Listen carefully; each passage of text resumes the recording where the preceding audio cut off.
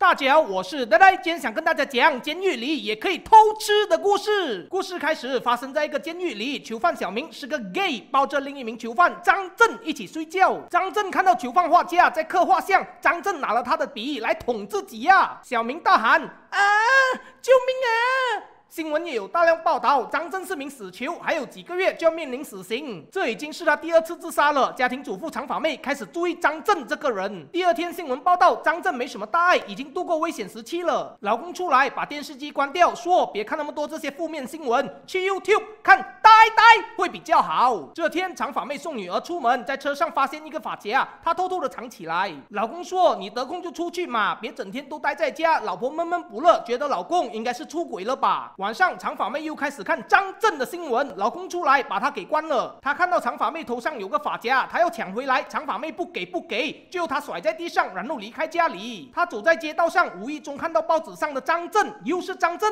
好吧，她决定搭的士去监狱探望张震。在监狱里，小明一直给予拥抱安慰张震。长发妹来了，还没到探望时间，她在外面等着。时间到了，她向看管员说她要见张震，她问了狱长，狱长不批。长发妹很失落的离开，看见她那么的失。落狱长不忍心，他打给看管员，让他去探望张震。长发妹被允许进去。看管员说：“张震，有人来看你呀。”长发妹说：“对我们素未谋面，但是我知道你一直想自杀。”他劝张震别想不开，因为这世界很美好的。狱长透过闭路电视看着他们的一举一动。张震对他有了好感，因为从来都没有人这么劝他。他拔了长发妹的一根头发。Ring，时间到，他被拉回去牢房。他看着长发妹的长发，小明妒忌了，把那根头发抢过来。张震把头发抢。回来，然后再塞进口里。老公问：“昨天都去了哪里呀？”ring ring ring ring，有人打来。老公出去听，那么神秘。长发妹大概知道这人应该就是情妇吧。过没几天，长发妹又去找张震了。她把牢房布置得像春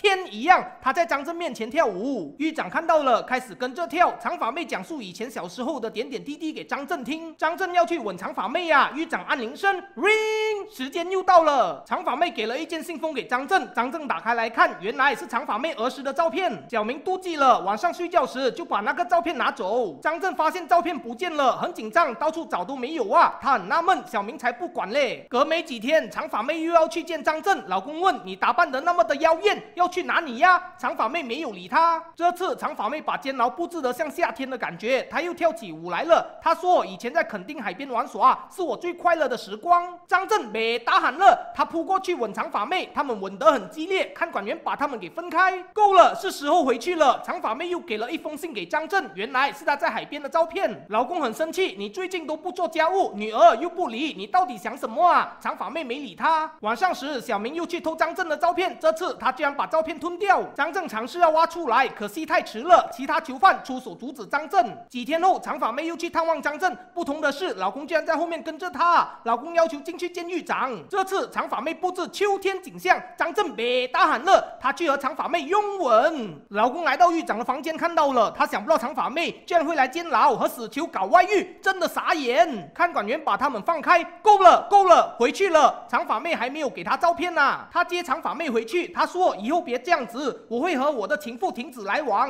张震很想念长发妹，他要撞墙自杀。小明叫他别那么傻，这样做他会心疼啊。几天后，情妇上门找老公，老公说不是说了不再见面吗？你还上来干嘛？快走！长发妹看到后心里很不舒服。长发妹又想去找张震，老公去阻止她，别再瑞他了，她真的和情妇停止来往了。长发妹不听，老公说你去的话，我就和女儿同归于尽。长发妹停下来，她舍不得女儿啊。长发妹很久没来找她了。张震突然抢了画家的尖锐物体来捅自己，又搞自杀。小明大喊救命！长发妹听到新闻报道张震自杀，老公想要关掉，长发妹丢了一个杯子过去抱老公的头。张震出院，但是整个人就是无精打采。的长发妹又要出去了，老公知道她要去见张震，没办法，老公只好载她去。干你呐！居然有男人送老婆去绿自己的世界，真的无奇不有啊！看管员说有人来看你了，张震。张震很兴奋，整个人精神了。老公在外面和女儿堆雪人，一进牢房不用多说，长发妹和张震